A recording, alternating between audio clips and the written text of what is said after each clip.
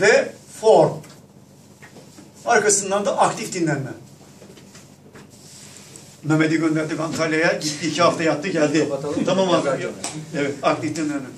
Evet. Şimdi arkadaşlar şöyle yapalım. Pazartesi. Salı. Çarşamba. Perşembe. Cuma. Cumartesi. Pazar.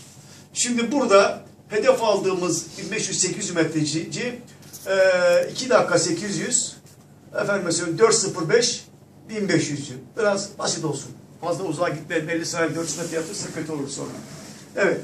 Bu sporcumuzun yapacak olduğu antrenman pazartesi günü benim e, ilk anaerobik antrenman günümdür. Uzun interval yaptırırım. 2000 1000 1000 6.30'luk civarında 2000 3.10 3.15 civarında da 1000. Pazar günü antrenmanda benim idmanım vardı ve e, araları da 5 dakika jog. Şimdi nedenini anlatacağım size. 5 dakika jog. Evet. Arkadaşlar neden 5 dakika jog? Dedik ki vücudun kalbi pompalaması gerekir, göndermesi gerekir. İşte bunu sağlıyoruz burada. E, nabız 150, 180'e, 180'e pek çıkmaz. 160, 150 itibarındayken tam yorulmadan, tam e, dinlenmeden özür dilerim, dinlenmeden, nabız normale dönmeden bir yükleme daha yapıyoruz. Bir yükleme daha yapıyoruz. Bu şekilde e, kalp e, güç kaslarının ve sol vetikülün gelişmesini sağlıyoruz. Bu antrenmanımızı yapmak suretiyle. İkinci olaraktan salı günü 50 dakika koşu, 50 dakika cross, 6 tane 100 metre ağırlık çalışması.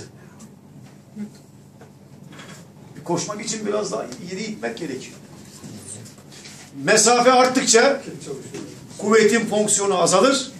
Mesafe azaldıkça kuvvetin fonksiyonu artar. Örneğin 100 metrede aşağı yukarı yarıya yakını kuvvettir. Maratonda ise 60 yaşındaki bir adam bacağının gücü, gerçi şimdi 2-5 koşulunca biraz kuvvetli olmak gerekiyor ama 60 yaşındaki bir adamın gücü maraton koşmak için yeterli olur arkadaşlar. Orta başka bir şey gerekiyor.